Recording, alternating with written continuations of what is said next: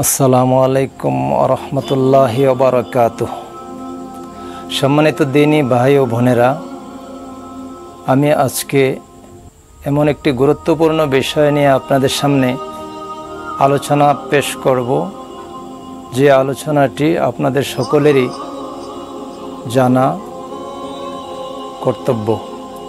জানলে পরে আমাদের মা বোনদেরকে জাহান্নাম থেকে রক্ষা করা যাবে। ছয়টি, যে ছয়টি কারণে মা বোনরা জাহান্নামে যাবে, আমি সেই ছয়টি কারণ এখন আপনাদের সামনে তুলে ধরব। আশা করি আপনারা মনোযোগ সহকারে আমার এই কথাগুলো শুনবেন এবং ভিডিওটি শেয়ার করবেন বেশি বেশি, যাতে করে আমার অন্যান্য মুসলমান ভাই বোনেরা সতর্ক হতে পারে, জাহান্নাম থেকে বাঁচতে পারে।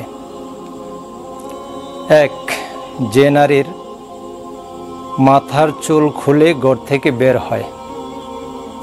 সে নারী জাহান নামে যাবে। দুই, যে নারী স্বামীকে মর্যাদা দেয় না, কথায় কথায় তর্ক করে।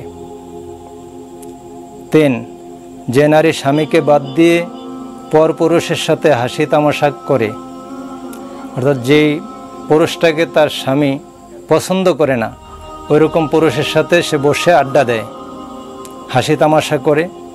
এই নারী জাহান্নামে যাবে। চার, যে নারী অপবিত্র অবস্থায় অলসতা করে, পবিত্র হয়ে নামাজ আদায় করে না, সে নারী জাহান্নামে যাবে।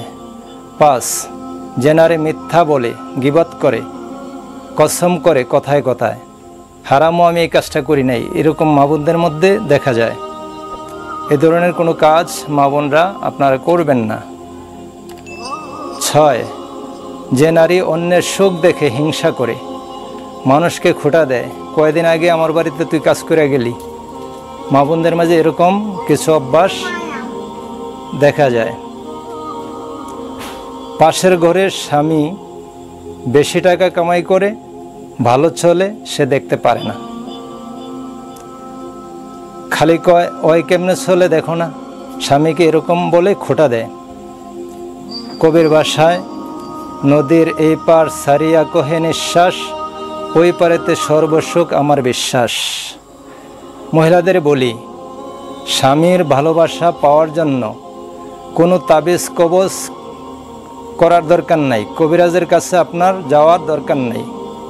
নবীজির সুন্নত পালন করুন, তাহলেই আপনার স্বামী আপনাকে ভালোবাসবে ইনশাল্লাহ আমি কয়েকটি বিষয় আপনাদের সামনে তুলে ধরছি। যে বিষয়গুলো পালন করলে আপনি আপনার স্বামীর, আপনার স্বামীকে খুশি রাখতে পারবেন, আপনার স্বামী আপনার প্রতি খুশি থাকবে। এক, স্বামীর জন্য দোয়া করবেন, নামাজ পড়বেন, স্বামীকে শোনায়া দোয়া শুরু করে দেন যে, আল্লাহ, আমার স্বামীকে তুমি সুস্থ রাখো, ভালো রাখো। আমার যা দরকার তিনি যেন তা ব্যবস্থা করে দিতে পারেন। দুই স্বামীর ধৈর্য, স্বামীর বৈধ কথাগুলি শুনবেন। কোনো স্বামী যদি বলে, আমার বাবা হুজুর আইসে তার পা টিপ্পা দে, এই সমস্ত কথা স্বামীর শোনা যাবে না। যে কথা শুনলে আল্লাহ তাল্লার নাফরমানি হবে, এই কথাগুলো আপনারা শুনবেন না। বৈধ আদেশ শুনতে হবে। তিন, স্বামীকে খুশি রাখার চেষ্টা করবেন সব সময় স্বামী যা চায় তা করা।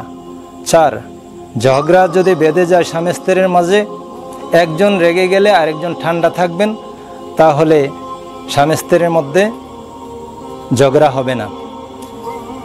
জগতের একজন বিখ্যাত ইমাম ইমাম আহমদ ইবনে হাম্বাল রহমতুল্লাহ আলাইকে প্রশ্ন করেছিলেন, তাহার একজন ছাত্র যে, হুজুর, আপনাদের মধ্যে স্বামী স্ত্রীর ঝগড়া হয় কিনা? তিনি বলেছিলেন যে হ্যাঁ আমাদের মধ্যেও ঝগড়া হয়, তবে আমরা একজন রেগে গেলে আরেকজন ঠান্ডা থাকি, সেজন্য আর ঝগড়াটা হয় না। আমরাও যদি তাদের নীতি অনুসরণ করি, স্বামী স্ত্রীর মধ্যে কোনো দিন ঝগড়া হবে না। পাঁচ, স্বামীর ভালো কাজগুলো প্রশংসা করবেন। ছয়, স্বামীর সামনে সর্বদা হাসি খুশি ভাবে চলাফেরা করা। সাত জান্নাতি নারীদের ব্যাপারে স্বামী স্ত্রী বসে আলোচনা করবেন, যেমন খাদিজা হজরতে ফাতেমা, আয়েশা, মারিয়াম, আসিয়া। তাদের জীবনী পড়বেন এবং তাদের ব্যাপারে আপনার দুজন স্বামী স্ত্রী বসে বসে তাদের জীবনী পড়ে, তাদের জীবনের ব্যাপারে আলোচনা করবেন। তাহলে আপনাদের শান্তির সংসার কায়েম হবে ইনশাল্লাহ আট স্বামী বাহির থেকে আসলে খাওয়া দাওয়া বা অন্যান্য কিছু আগায়া দেবেন। নয়, স্বামীর হৃদয় জয় করার জন্য সর্বোচ্চ চেষ্টা করা।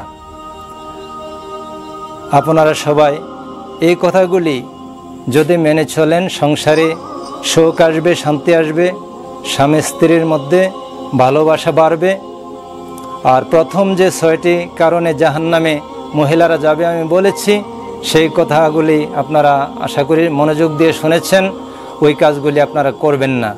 আল্লাহ আমাদেরকে আজকের আলোচনা আমল করার তৌফিক দান করুন। আমিন। ওয়াখরুদাওয়ান আলহামদুলিল্লাহ রবিল আলমিন।